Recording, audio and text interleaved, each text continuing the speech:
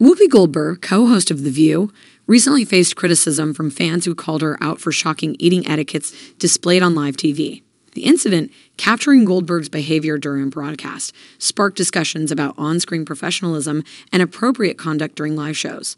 In a segment on The View, Whoopi Goldberg's eating habits became the center of attention, with viewers expressing surprise and disapproval. Fans took to social media to voice their concerns, criticizing the co host for what they perceived as a lack of professionalism and etiquette during a live television broadcast.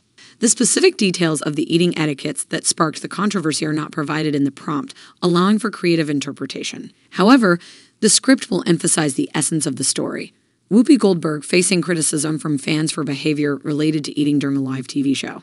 The script will capture the reactions of viewers who express their disapproval on social media, highlighting the conversations that ensued about on screen professionalism and the expectations audiences have for hosts of popular talk shows like The View.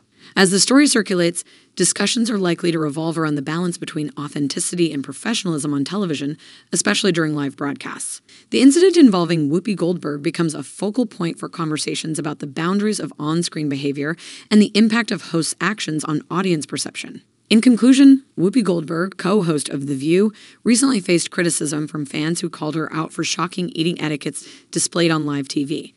The incident sparked discussions about on screen professionalism and appropriate conduct during live shows. While specific details are not provided in the prompt, the script captures the essence of the story. Whoopi Goldberg facing criticism for behavior related to eating during a live television broadcast.